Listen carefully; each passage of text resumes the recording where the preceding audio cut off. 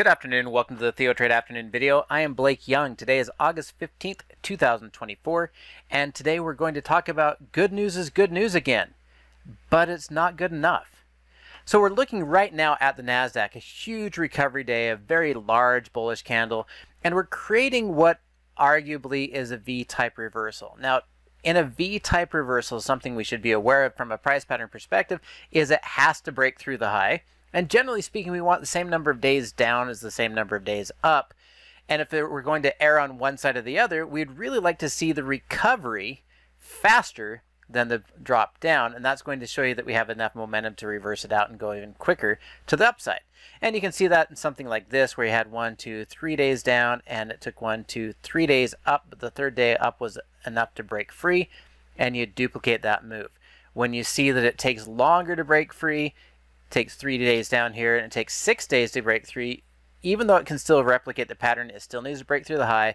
It just diminishes the power and the momentum that is going into that type of reversal. Now, that's not the reason why we think that good news is not good enough. The good news that is driving the market higher today is off the expectation or the hope that the economy is doing well, that we're not really seeing this massive slowdown. And if we look at the retail sales that were reported today and the unemployment claims, you can see lots of green. Actual beat forecasted, actual beat forecast. Everything is great. Hooray! Empire State Manufacturing better than expected. Now, Philly Fed is certainly negative, but this is conflicting manufacturing data, so that's not good enough. Even the good news is still negative. So we're looking at this index on manufacturing. Both Empire State, meaning New York, and Philly Fed these two key manufacturing index both are still negative. Both are still not showing growth. It's less negative for Empire State and more negative for Philly Fed. So manufacturing is not in a recovery. So first off, that good news out of New York is not good enough. We didn't turn around. We have not turned around. We're just less negative. We're less bad. As we look at retail sales, retail sales are up 1%. And that seems phenomenal. Hooray, we had 1% month over month. And that has been one of the big concern. Are consumers in a position where they are spending money? If consumers are spending money, then consumer discretionary spending is going up and retail sales should recover. And sure enough, we went to 1%. But look at the details in here and we can see that it was revised lower last time. So let's take a closer look. And we will skip the 2020 because that makes the the size and dimension kind of get lost in the mix there. We want to see this. We want to see how retail sales have done. And you can see we were forecasted lower and it came out higher. Forecasted lower, it came out higher. Forecasted lower, it came out higher. And forecasted lower came out way higher. Well, forecasting doesn't mean anything. Forecasting is just a guess from economists, and economists are known for being theoretical in their behavior. I went to school in economics. Trust me, I spent years listening to these guys. And it is just a theoretical guess, a philosophical guess, even. What we want to know is what was it and what was the revision? So, what did the report come in at? What is the actual number and what was the revision afterward? And you can see that the revisions have actually been negative more than they've been positive. And when we revise lower, we've revised them lower to the tune of 0.2, 0.3% in many of these cases. In this last year, in 2024, revise lower, revise lower, revise up, revise lower, revise lower, revise up, revise lower. So right now we're about 66% of the time we've revised these lower and we revise them lower significantly more than any of the revisions up. So the retail sales are confidence boosting, helpful to tell us that we think that we're doing better, but every one of these has been less stellar than what we would have thought. And the same thing is true about weekly unemployment claims. I want to remind you from last week when we talk about weekly unemployment claims, these are new claimants. These are people that have not received unemployment benefits. They have probably lost their job recently and are now applying for unemployment benefits. Again, forecasts that and a you know 10 bucks can buy you a Starbucks coffee. Get rid of that forecast and focus on revisions. As we look at this, you can see these revisions, many of these revisions were lower, not a lot, but still lower. And the bigger aspect that I'm looking at in conjunction with this, or with specifically with weekly unemployment claims, is the trend that is here. You could do technical analysis on this trend. We could draw lines off the higher highs, higher lows, the lower lows, lower highs. We can look at this and see that the trend is rising of new claimants.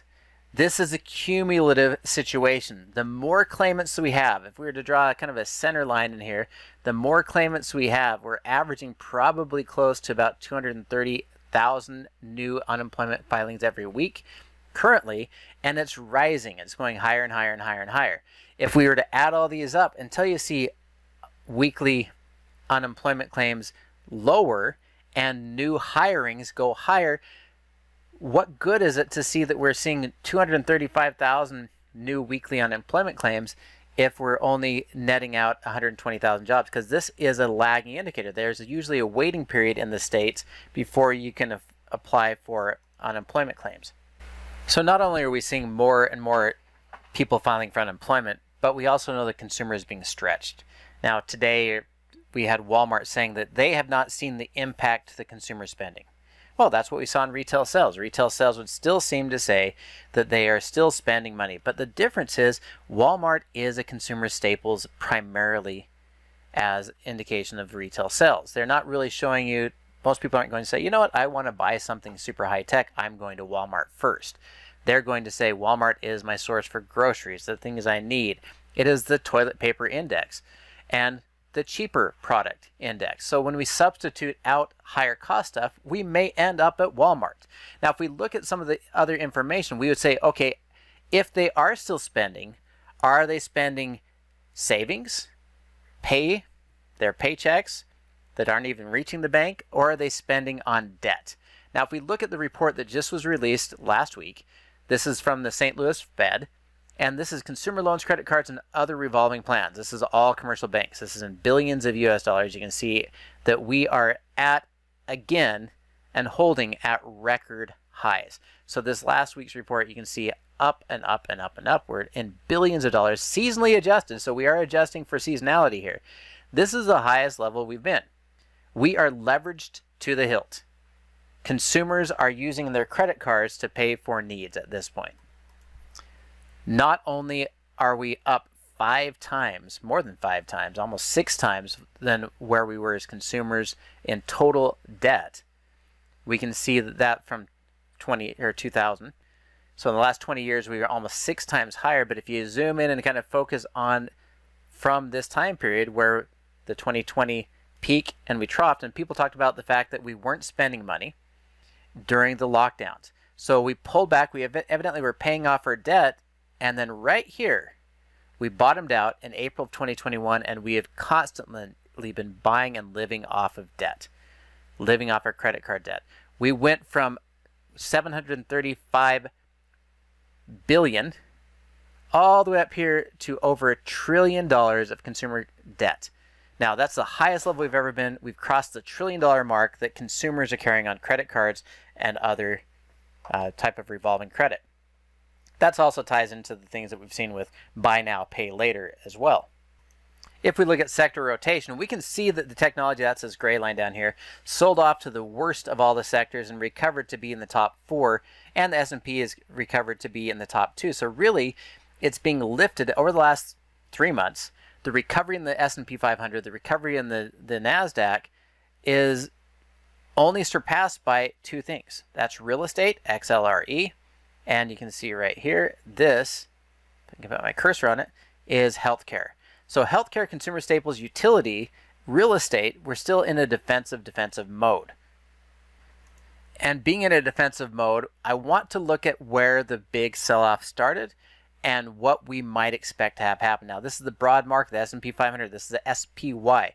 We gapped up on August 1st and began the big sell-off. Now we had a sell-off earlier where we broke through support and that gap occurred here. So from the broad market, it appears that we're just returning to retest where all the sellers have been. Imagine instead of this gap, a ginormous red candle that is even bigger than this red candle. That is a lot of sellers. This is even more sellers. And we're seeing significant sell pressure up here between 553 and we'll call this close price at 553.78. We'll just call it 554. So today we finished the day in that range where the sellers took control. That does not mean I want to instantly jump in and sell or short the S&P 500.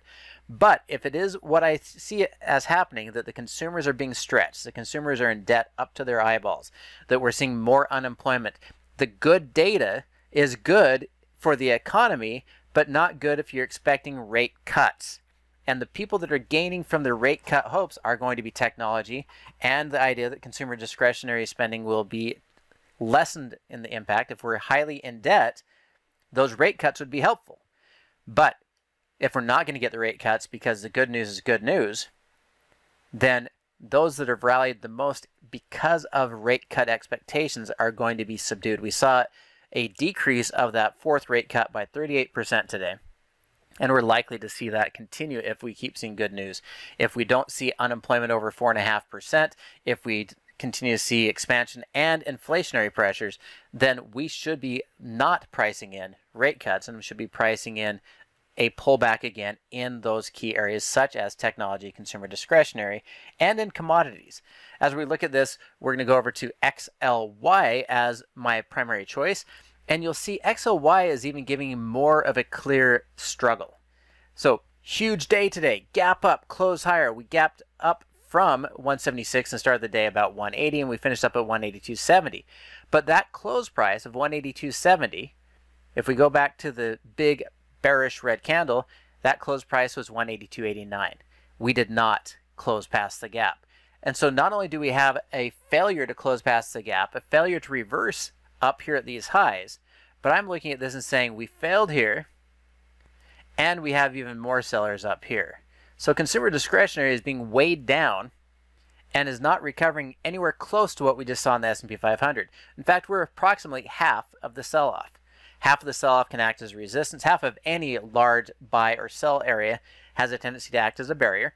And we're failing at that barrier. So I am watching for consumer discretionary to fail again tomorrow at this barrier because then it will likely come back to 177.50 if not continue lower. But I don't have to stick with consumer discretionary as a broad sector. You look at Tesla, you know, we filled the gap. It's a nice little bounce, but Tesla has certainly technology levels and some certain sentiment that's going to lift it more than others. But again, it's not even half of the pullback. We went from 271 down to 180. So we could take Tesla out of the equation knowing that it's at 214 versus 182, we could get a sense of that with about a 5 to 4 ratio. And so this would be Tesla being removed the best I can out of the consumer discretionary. And you can see a nice recovery again, about half the sell off, but overall still downtrending. Instead, I would say take a look at some of the other big players in here and say what is lifting the market today? What is lifting consumer discretionary? You might say Amazon. Amazon's part of consumer discretionary, and we're in the middle of this big gap, and we probably will have to fight 185. So I'm not wanting to buy into Amazon, but I'd be looking for Amazon to roll over anywhere ahead of that 185. We already looked at Tesla, but what about some things like Nike? Nike is used to be a pretty good substitute of consumer discretionary minus Tesla. And you can see a lovely gap up close higher, but look at the space between on that earnings. Any rollover ahead of 94 is probably a good opportunity to short or take bearish strategies on Nike. We could take something more like Lulu, Lululemon, which is part of the consumer discretionary. All we did is trade up to the short-term resistance and nowhere near the recovery that we are seeing everywhere else. And so I don't see a lot of really exciting things in consumer discretionary that would have me looking for growth, except for things like Ross. And Ross stores and TJ Maxx, Ross stores gapping up, closing higher ahead of earnings, clearing out more than 50%. Well, this is a substitute trade as well. This is when you say, I am not going to buy Lulu. I'm looking to be bearish Lulu. I'm not going to buy high expensive pants or yoga pants. I'm going to go dress for less. Ross stores benefit because we're going to be more careful with our spending. So Walmart hasn't seen it because they're being more careful with their spending. Ross Stores is getting it because they're being more careful with their spending. We're not buying the high ticket items, we're buying the lower ticket items. Consumers are adapting and substituting lower cost items instead of buying higher cost items. So their spending is going on, but we're now spending it on cheaper things and not buying the luxury brands. And I would also expect that in things like bookings and Marriott and Royal Caribbean Carnival to fail. And sure enough, we're failing at the gap again. So I'm watching for rollovers in pretty much everything in consumer discretionary that's not a substitute like Ross Stores and TJX.